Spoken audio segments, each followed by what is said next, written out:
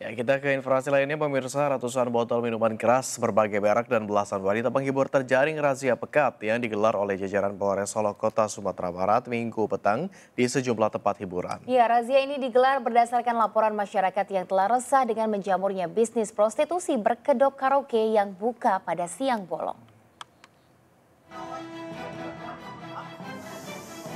Satu persatu tempat hiburan yang diduga sebagai tempat prostitusi berkedok tempat karaoke di sejumlah kawasan di kota Solok, Sumatera Barat ini dirazia oleh petugas Polres Solok Kota pada minggu petang.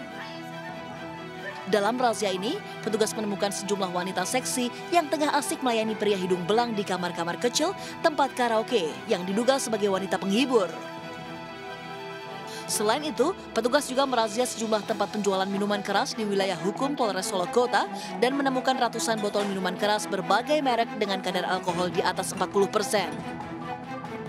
Dalam razia ini, petugas berhasil mengamankan 70 orang wanita penghibur dan 160 botol minuman keras ilegal yang kemudian digelandang ke Mapolres Solo Kota untuk dilakukan pembinaan dan penyitaan.